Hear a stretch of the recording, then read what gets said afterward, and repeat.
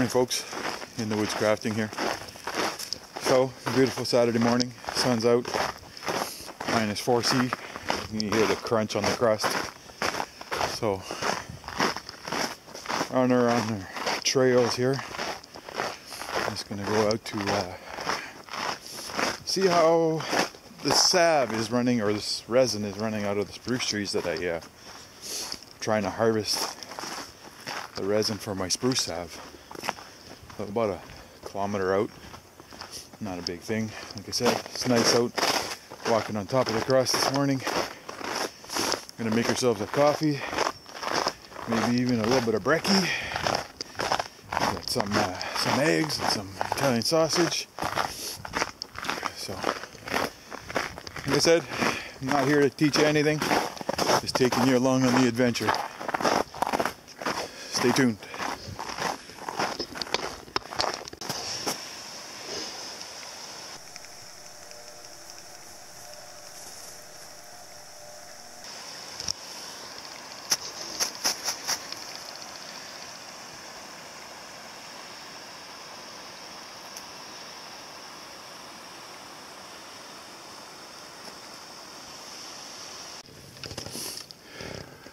Hey guys, this is one of the trees that I uh, scuffed up to be able to uh, harvest the uh, spruce resin. Get a little closer here, you can see that it's just starting. Just a little bit of a bubbling at the top. Not much here at the bottom. But uh, yeah, we're uh, gonna see what the other ones bring out. Um, right now I'm not going to uh, to harvest what's there. I'm just going to leave it. Uh, it's only going to get thicker. So it looks like the outer layers of the bark are what's producing this uh, resin. But anyways, let's uh, see what else brings today's adventure. So just walking down to my uh, first little bridge here that I constructed uh, earlier this season. This is my uh, snowshoe trail. So the water is actually hitting the first log. I'm hoping it's not going to float away. So, as you can tell, there's still a lot of snow left in the bush. Uh, I just sunk at a couple of spots, uh, well above the knee, but shadowed areas. So, you know, take it for all it's worth. Oh, actually, I have some logs underwater. Woxy, Woxy, Roxy walked across, so not a big deal. It's not the direction I'm heading to this morning, but anyways, I say, stay tuned for the adventure. We're uh, almost uh, at all the uh, spruce trees that I uh, I want to harvest the uh, spruce resin from. Hey y'all. So this is one of the trees that I've uh, trying to harvest some of the resin from. It's actually doing really well.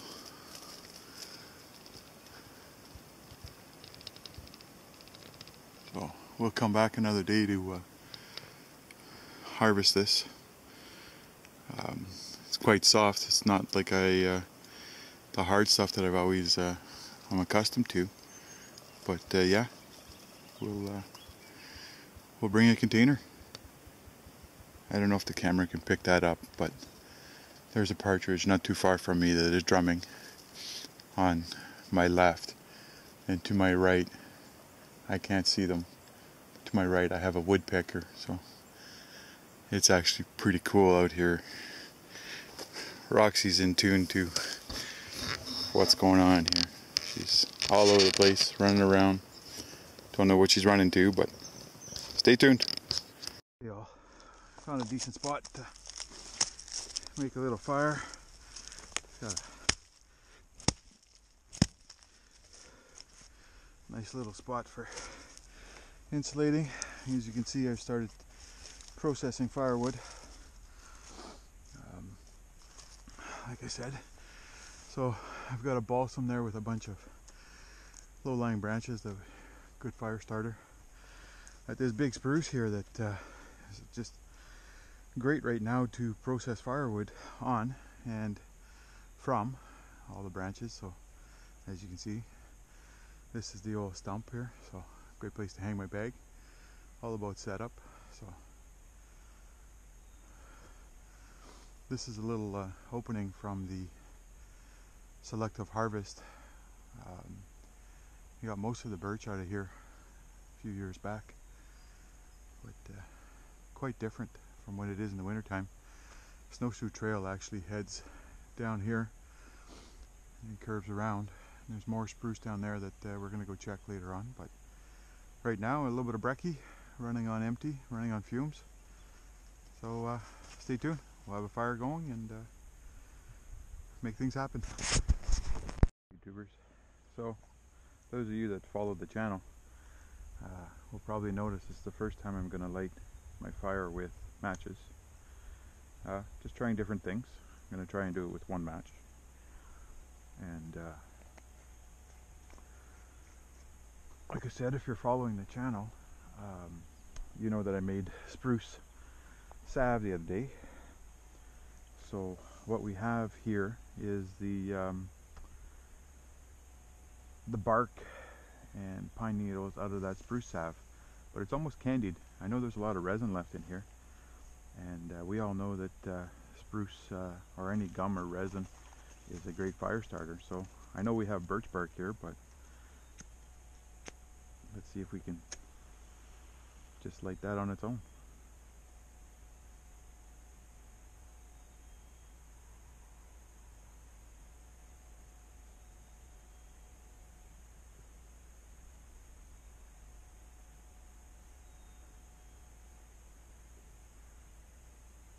Smelling good.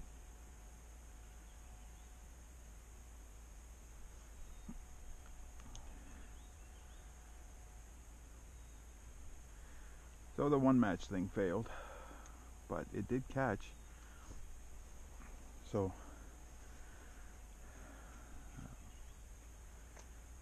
try again.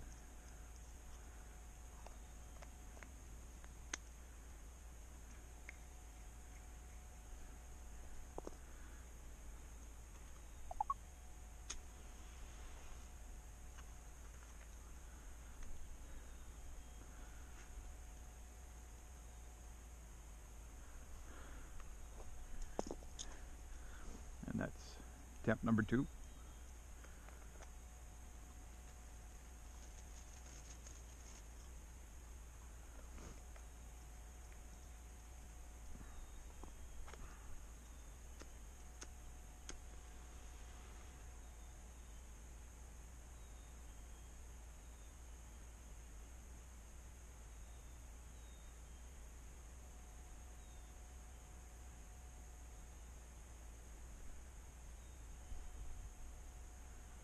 Got a little hot.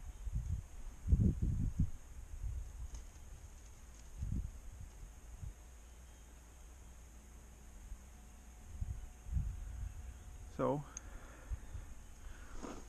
I'm not saying we're going to give up on that, but we're going to light the birch, the birch bark, and see what goes on from there.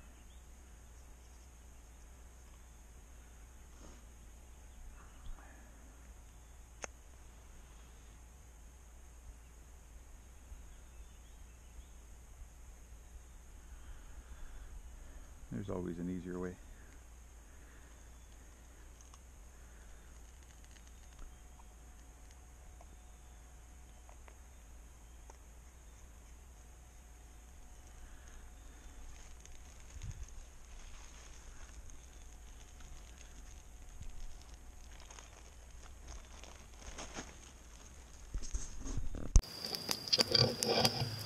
As you can see, turn the sausage around here.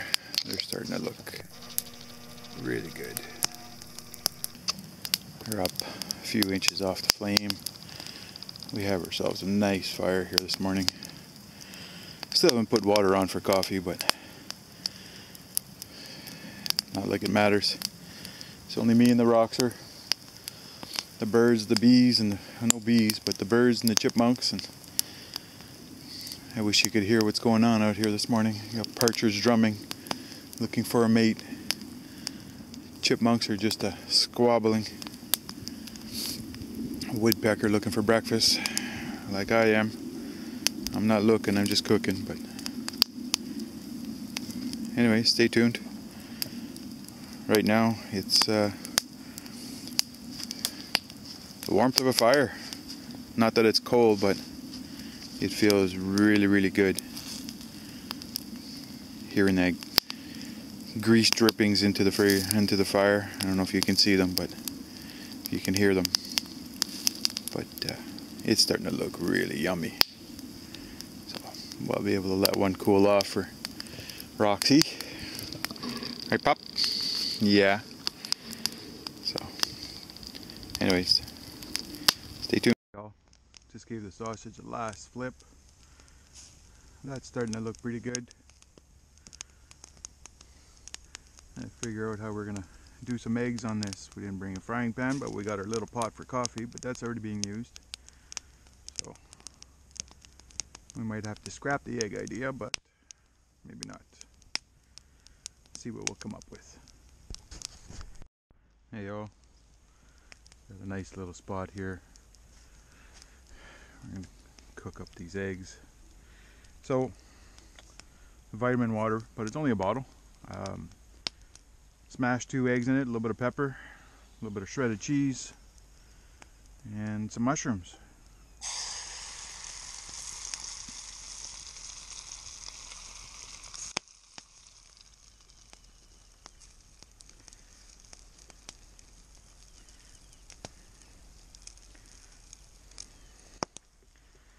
Says it's single-use bottles? Actually, I freeze those and reuse them quite often freeze them with egg and fixings inside and use them quite often for kayaking and camping trips.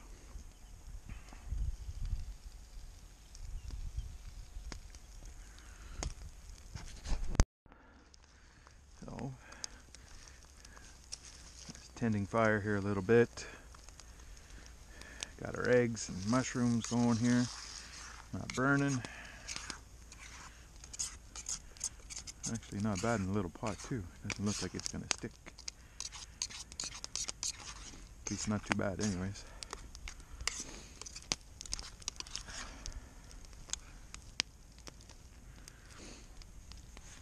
Try and save the little plastic handles on there.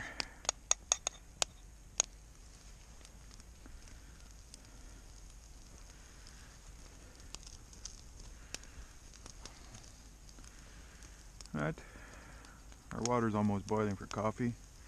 It's got to perk for a bit. So let's put my gloves on. Hands aren't made of steel. A little warm. Oh, cheese is melted right nicely. So we took the sausage off here, letting them rest. I Roxy's eyeballing them. So am I actually. They look pretty, really, really good. So.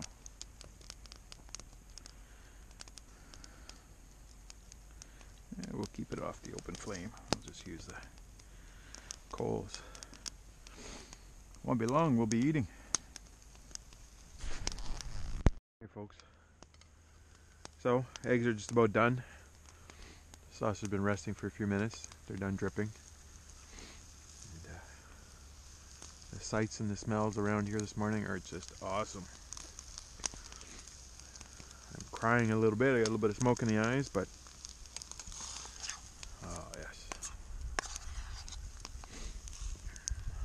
I'd say we're done. Eggs are done. We'll just put that off to the side. Thank God for that bench, that fallen tree. Actually using it uh, quite nicely for uh, a table. So, anyways, I'll uh, cut the video here and uh, when you see me again, I'll uh, be cutting the sausage open and uh, we'll give you guys a smellogram of that and uh, share that with Roxy if it's cooled enough. Hey folks, so here's the sausage. We put that on 8 ounce pot holder. This one nice cut down the center, and that is cooked through and through. Beautifully done, if I don't say so myself. Cut the smaller one.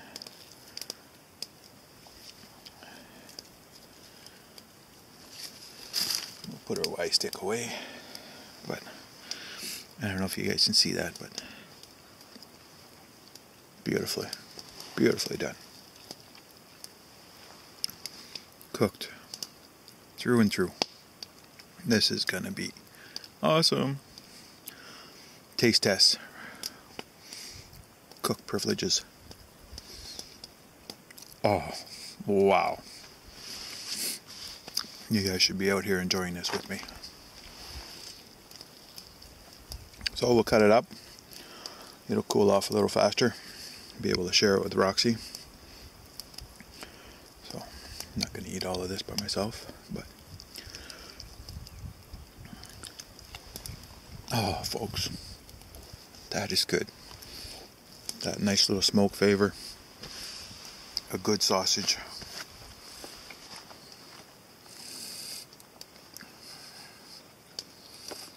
Okay, folks. Yeah. So, eggs and mushroom. My uh, awesome freaking sausage over the open fire without the uh, sausage skin. Loving it. Come on, piece Rox. Come on. Take it. Love and life today.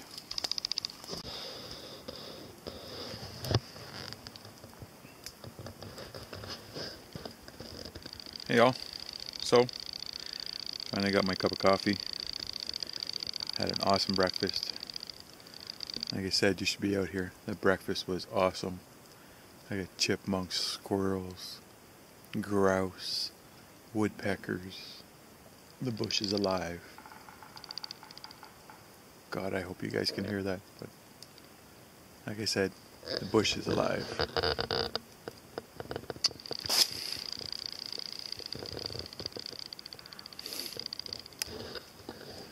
You can tell we still have buckets of snow. Tons. There is obviously open areas where I was able to make my fire, but big old balls from there, another one over there. Just, uh, you know, the snow didn't accumulate underneath, or as much snow didn't accumulate underneath, but anyways. So we're not too far there, we're only, I don't know, 30 meters or so from, uh, sorry, from the uh, spruce trees that I hacked up. So we're gonna have a look at that. This is the first time I'm uh, two camera. Um, obviously the GoPro on my head and uh, my Olympus there in my hands, so I'll be able to zoom in on stuff if we uh, we get into get to see something. But, uh, Roxy's out chasing chipmunks this morning or squirrels. But, uh, anyways, stay tuned. The adventure's not over yet.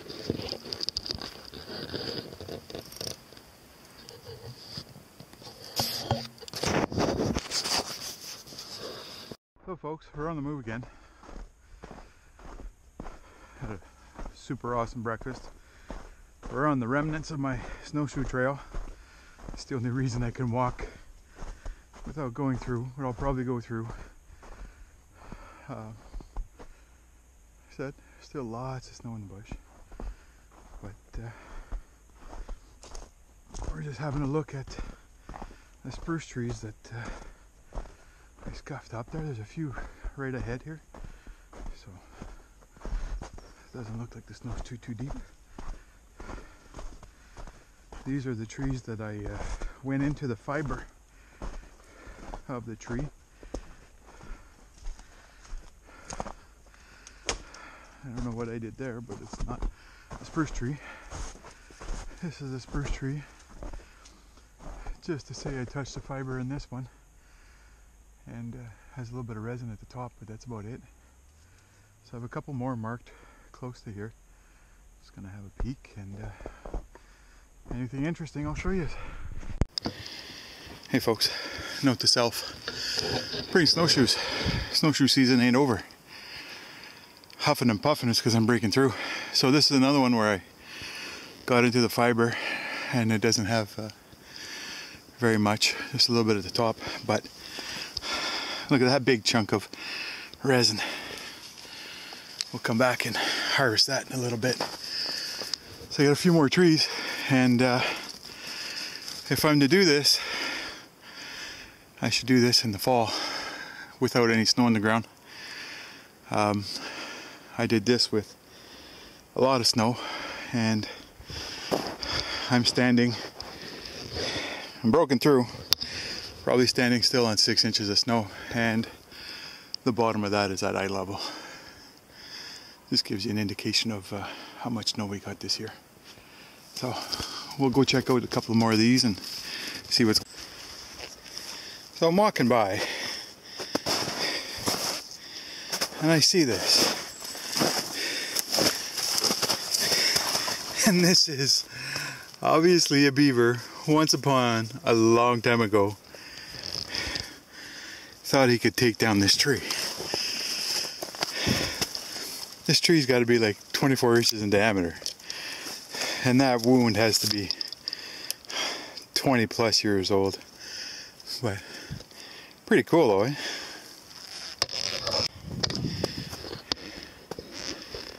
Hey tubers. So a little closing clip, not too far from uh, where I'm parked. Still on the trail with Roxy. So, those that are you subscribed, um, been following me on my adventures out in the snow, on my snowshoe trail and stuff. And basically all on the same piece of uh, real estate where I've been doing all of this. So um, I've shared the trail with you, obviously me and Rox, and my wife's been along, a few friends, but uh, I've shared it obviously with all the animals that live here. I've had everything from grouse, uh, squirrels, chipmunks, rabbits, fox. I even shared the trail with wolves. Well, it's May 4th. May the 4th be with you. Yeah, I'm a little bit of a nerd sometimes. But uh, I got a set of tracks here I'm going to show you that I'm sharing the bush with another creature. Um, I did forget to mention moose. I have uh, have moose on the uh, on the trail system too, but I don't know if you can see these. I was looking at them and they have five toes and they go across the road here obviously last night's, but they have five toes, and it's a fairly heavy animal. So now I'm having to share my trail with black bears. They're out, they're awake. There's nothing there for them to eat, except for me and Roxy maybe. But uh, they don't scare me. I usually make enough noise that uh, they don't come around. But uh, no, I just thought I'd share that with you. Um, we're on their turf. We're in their home, so we got to respect them. But uh, anyways, it's a uh, closing clip. So uh, if you like what you see, hit me a like button. And uh, if you aren't already subscribed, hit the subscribe, hit the bell for notifications for new uploads and uh, we'll catch y'all later in the woods crafting.